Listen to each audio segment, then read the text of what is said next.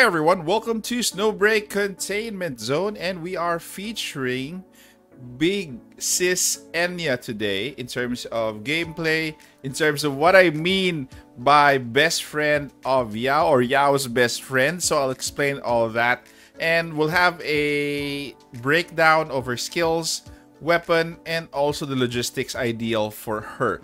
So in terms of our recommended uh, weapons and logistics, uh, we'll start off with logistics here. So this is going to be Blacksmith Squad. So active skill damage by 16.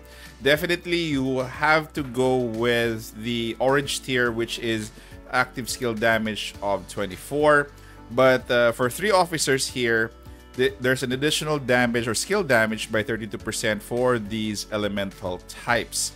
If you go with the orange tier, which is Twilight Squad, again, it's going to be 24% instead of 16. After dealing damage with an active skill, the target's resistance to the type of damage decreases by, by 16% for 5 seconds. So definitely very useful when you have Enya as Yao support because um, Yao will be dealing more damage, especially if resistance is going to be down a bit. So there you go for logistics. Next up is the weapon. Lucky times, I do have this right now. This is a decent weapon. This is nice for um, for damage dealing because again, this has a 12 ammo capacity plus deals decent damage. Compatibility is not a problem as well. Um, after a shot hits a weak spot, the next bullet gains aptitude, dealing additional thermal damage to 15% of attack, which is actually nice if you are using Enya as a primary operative or shooter. But rarely would you do that. So try to go with Prismatic Igniter. This one, however, has only 6 ammo capacity, but you don't get it for that. Compatibility is 84.95. You can grow that to 100% once you level it up.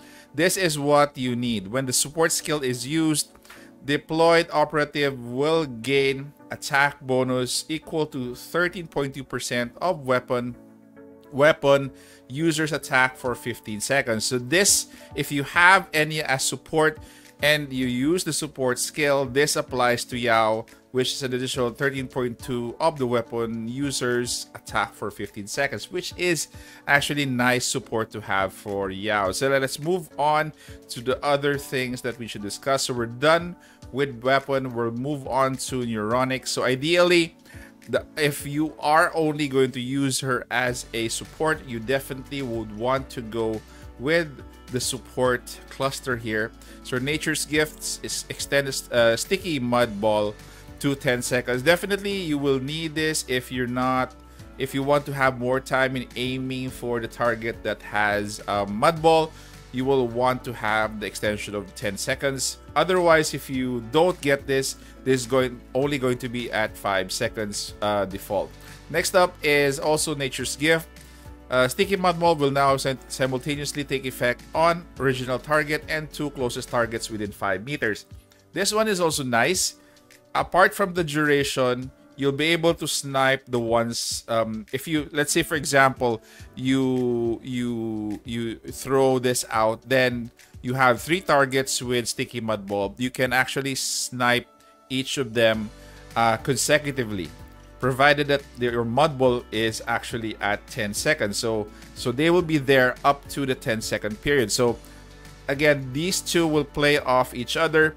Never mind this um, flower of youth you will you don't really need this if you will be using uh, Enya for a support only uh, exclusive. So moving on. So manifestation you won't need much of manifestation Enya is actually good with even if she's at manifestation zero for logistics we already discussed this so again this decreases the resistant type of the damage of your active skill. So again, perfect for um, perfect for Enya and for Yao. And for your uh, skills, this is the one that we are going to stay more on. So for her standard uh, skill, Flower of Youth, this one I've had a lot of um, you know um, criticism in terms of how difficult this skill is. But let's read through. So Enya vaults backward, throwing multiple plump buds in front. When the plump buds hit a target on the ground, an explosion is triggered, dealing thermal damage and knocking the targets up into the air. The interrupt the interrupts the target's special uh, skill for 10 seconds. Damage dealt to the targets hit by multiple explosions is reduced by 50%. Okay, take note. Again, I agree this is a difficult skill to use, but you will this is also handy to interrupt the target's special skill and knocking the targets up into the air not really for dealing multiple you know um, multiple um, tremendous amount of damage but definitely this will come in handy for the interrupt so next up let's uh, move first to the ultimate skill so Enya uh, it's called feathered serpent Enya bombards a fan shaped area in front of her with mechanicals, a mechanical, serpent once dealing thermal damage. When the bombardment ends, the mechanical serpent throws 30 snake feathers to pursue targets, each dealing thermal damage. So passive, each uh, shot and hits, one stack of rich lights is consumed to release a snake feather which pursue the target. Restores a stack of rich lights every 5 seconds, max 10 stacks. This one I also think um, has little damage. This is this is more of multiple little damages for her for her ultimate. So again, um, I wouldn't you know worry about this if you're going to use um, Enya only as a support exclusive to Yao or to other operatives that you plan to use as your primary. And this is the Deus alignment. Thermal damage of Enya increased by 70% for each 100 alignment index increases an extra 2. So that is just for her. This applies to her neuronics. Then the last skill that we're going to discuss is obviously Nature's Gifts.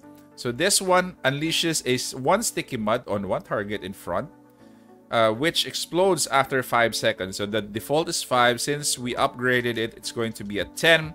Then the next one is um, instead of one target, this will take effect to a primary target plus the closest two targets within 5 meters. Okay?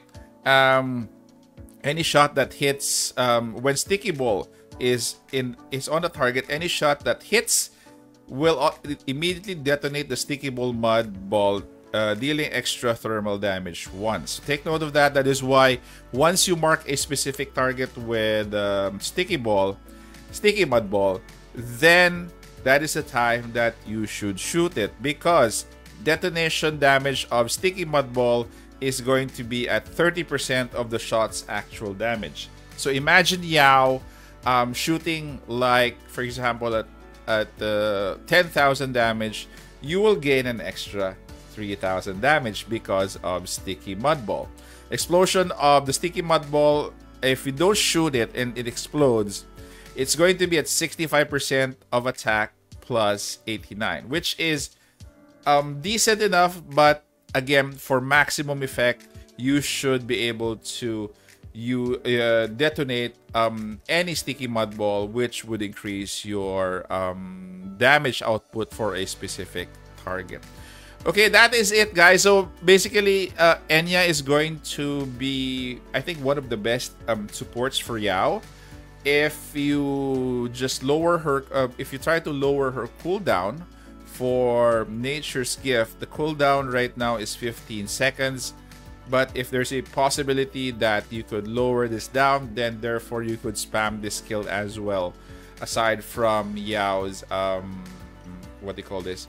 Yao's uh standard skill. So again guys that is it. So um if you see um, if you have her build, you will likely going to be uh, sorry if you have Yao built, it is likely that you have to um, customize um, support for Yao. Um, make it a make it a point that you include Enya as part of her regular support, especially um, if you have um, if you have bosses that you need to take down quick and we need to deal uh, uh, damage quick as well. So that is it guys so hopefully you um, were able to like this video again if you find this informative please do put a like to this video. And don't forget, guys, to subscribe because this helps my channel a lot. So thank you very much for staying this far. Take care.